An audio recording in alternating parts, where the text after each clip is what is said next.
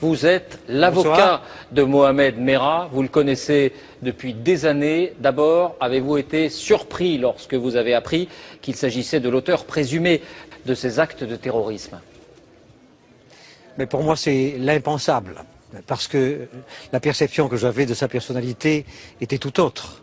Euh, ses copains viennent de parler de lui. Effectivement, il ne parlait jamais d'un engagement politique. Euh, il ne donnait pas l'impression d'être fanatisé, d'être obnubilé, d'avoir un but assis sur euh, des convictions religieuses. Il aimait la vie, il aimait sortir en boîte.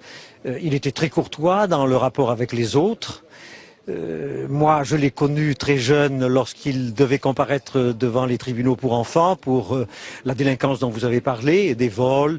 Il a été condamné à 18 mois d'emprisonnement ferme. Là, il était jeune majeur et, et, il est resté très longtemps en détention parce que des sursis qui avaient été prononcés par le tribunal pour enfants ont été révoqués.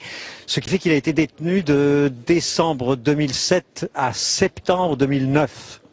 Et effectivement, s'il a euh, opéré un basculement, si quelque chose s'est produit et une rupture totale dans sa personnalité s'est effectuée, bon, c'est euh, certainement euh, au cours de son séjour en prison où il a été pris par un certain ressentiment et un sentiment d'injustice par rapport au sort que lui avait réservé la justice. Où il a pu peut-être aussi faire des rencontres. Il a décidé de partir après en Afghanistan. là, les choses se sont radicalisées. Mais en tout cas, il ne tenait jamais oui. On, apprend quand même, on l'a entendu, qu'il se promenait parfois avec un sabre, qu'il pouvait montrer des vidéos de violence. Euh, rien en lui, pour vous, ne pouvait laisser supposer qu'il y avait cette violence froide, cynique, extrême qu'il a montrée.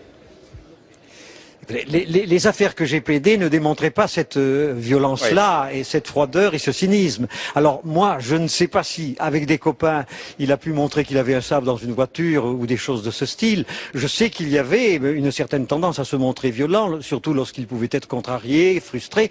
Bon, mais euh, ça, c'est ce qui se passe euh, pour beaucoup d'adolescents et beaucoup de jeunes majeurs. Mais son investissement dans, dans, des préoccupations religieuses, sa haine progressive contre les valeurs euh, d'une société démocratique et, son désir de passer à l'action pour euh, finalement rester enfermé dans une bulle et pouvoir imposer euh, ce qu'il croit être sa vérité aux autres, ça c'est un aspect de sa personnalité qui m'avait totalement échappé et qu'il n'avait jamais laissé transparaître.